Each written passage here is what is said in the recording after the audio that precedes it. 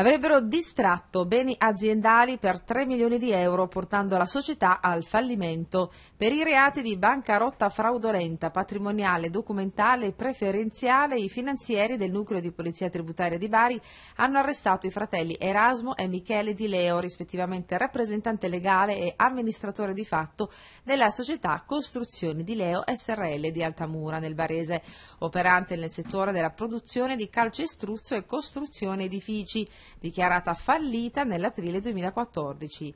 L'ordinanza di custodia cautelare ai domiciliari è stata emessa dal GIP del Tribunale di Bari Alessandra Piliego su richiesta della Procura della Repubblica.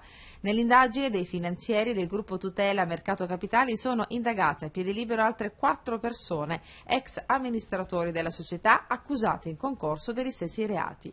Il provvedimento è stato emesso al termine di una indagine che si è sviluppata sia su accertamenti contabili, bancari e documentali e anche attraverso alcune testimonianze che hanno permesso di smascherare i fratelli di Leo che avrebbero volutamente dissipato il patrimonio della società aggravando di fatto lo stato di dissesto.